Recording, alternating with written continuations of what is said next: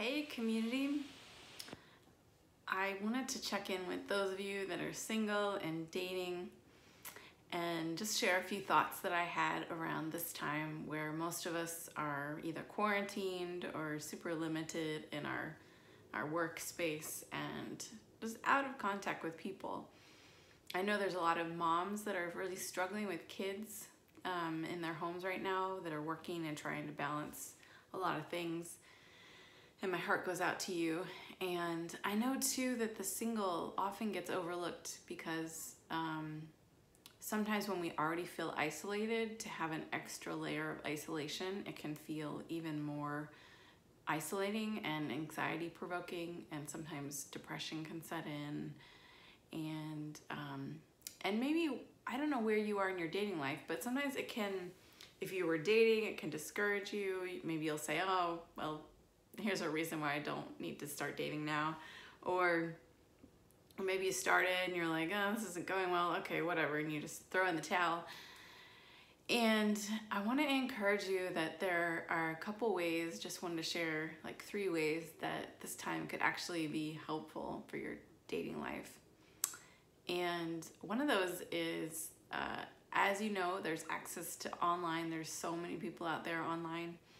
And you might find that even now there's even more options for you, which sometimes can be challenging to sort through and kind of filter through a lot of options and uh, unwanted solicitations or things that you don't want. But if you um, are solid in what you know you want, it's great way, it's a great tool that many other singles are probably like you looking bored and trying to pass time and and and it could be opening up to you like a lot of possibilities that maybe otherwise people would be busy at work or doing other things and so get on there. If you're if you're at all inclined if you feel if you've been thinking about it if you've got discouraged and maybe now you're wanting to jump back why not just try it now? Um, and the other thing is that maybe you find you have been dating and you've gotten discouraged and you've been coming up against some like roadblocks or some painful things or maybe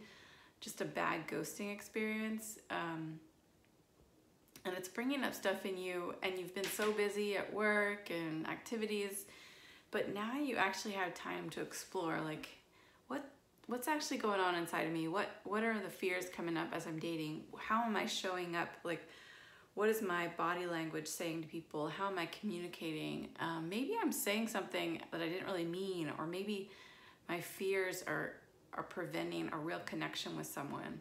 And it might be time to go inside and really journal what's going on, or get in touch with your feelings, talk with someone online about it, um, a friend, a coach, a counselor. It might be time that you can actually invest in yourself and really explore like what is coming up for me as I'm dating.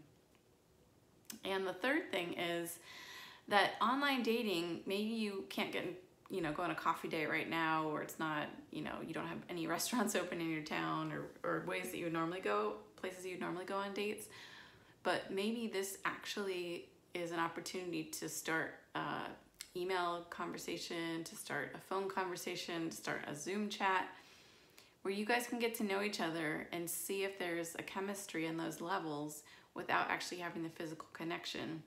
And what can be positive about that is actually you can see like what do we have apart from the physical connection um, or what can we do to like deepen our initial friendship connection through getting to know each other in a way that once you start dating that person you may not have that kind of time or that kind of um, richness to your relationship in a way that would be to like pour out your heart in an email. Not that you want to be pouring out your heart to someone to someone you just met, but to I know when I write, I access a different part of me that's it feels deeper, and so maybe use this time to make those kinds of connections online that can be fully realized when you when we come out of this quarantine and you find that wow this person is really great in person too and and now we have this depth of initial connection that we can build on so i hope those thoughts are helpful much love